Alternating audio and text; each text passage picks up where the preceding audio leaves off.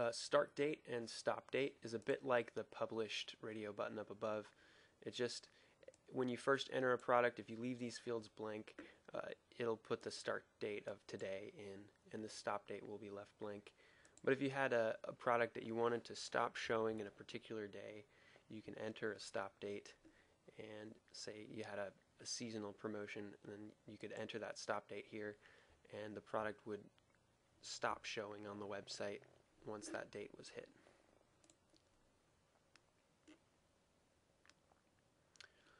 Okay, and then there's quite a few little options here. Show buy button, yes or no. That uh, turns the add to cart form off. So let's see what that looks like. If I turn that off and hit update, let's refresh. We're back to the simple product. And you can see that the add to cart form is completely gone now. So if you had a product and for some reason you weren't quite ready to start selling it yet, but you wanted to show it to people, uh, you could use that option. So I'm going to turn that back on. Requires registration to view. That's um, if you need a customer to be logged in before they're allowed to see the product page. Um, so I won't be able to show you that right now because I am actually logged in, but it just puts up a login prompt on the product page and until that person's logged in and then then they can see the product page.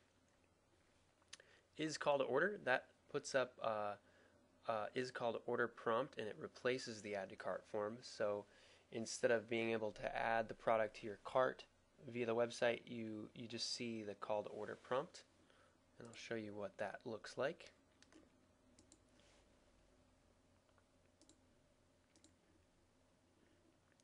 So now you can see uh, call to order shows up and and a lot of people will actually add their phone number to the end of this string and you can you can change that under string resources.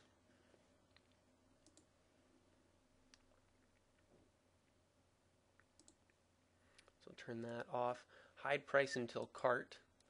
That just removes the price from the product page.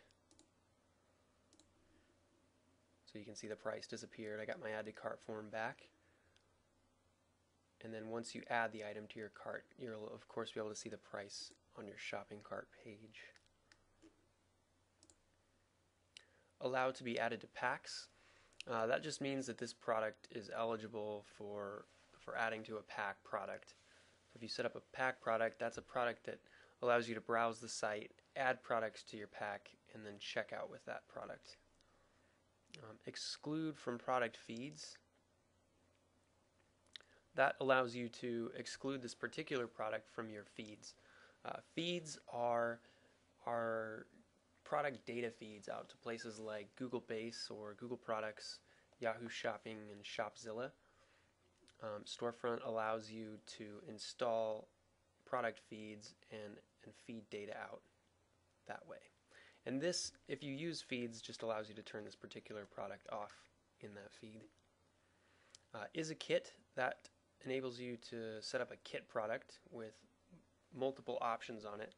Um, if you need more flexibility than uh, product variants can offer you, you may want to consider using kit products.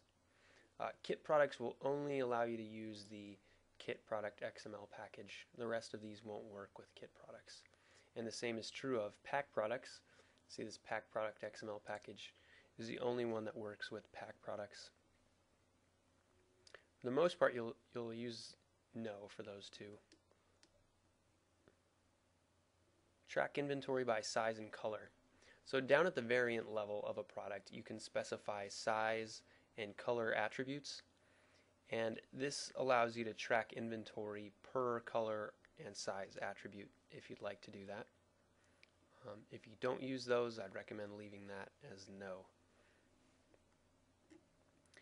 And this color option prompt, if for example you didn't want to use the word color in front of your color attributes, but shade for example, you could override the color uh, option prompt and put shade in there as well. Um, same is true for size if you wanted it to be something other than size. Uh, requires text field. So this is like a custom text area. And I'll kind of show you what this does. If you had a product that you wanted a, a user to be able to enter some custom text on, for example, an inscription on a ring. In fact, let's do that. That'll work. And then requires text field yes or no. We'll say it it's required. Let's update that.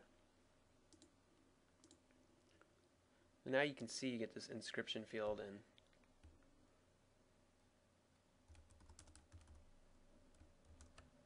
you can enter your custom inscription on your product.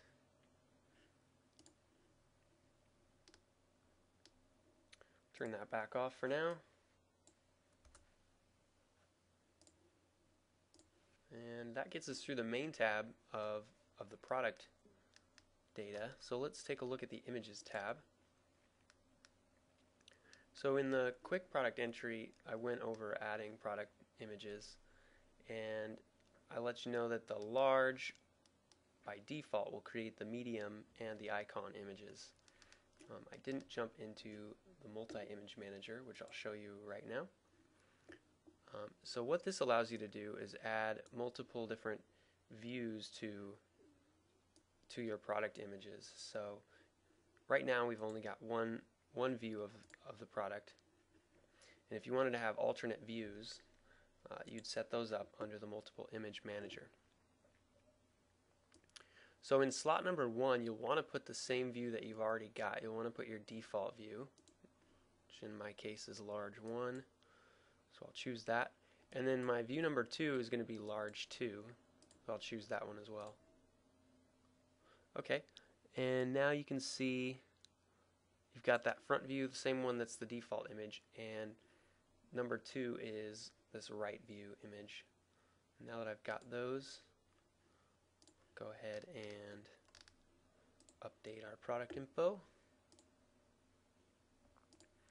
And if we refresh the product page, you'll see these product views pop into place, which allow you to switch your views. And if you click on the image, you get the larger image of that particular view as well.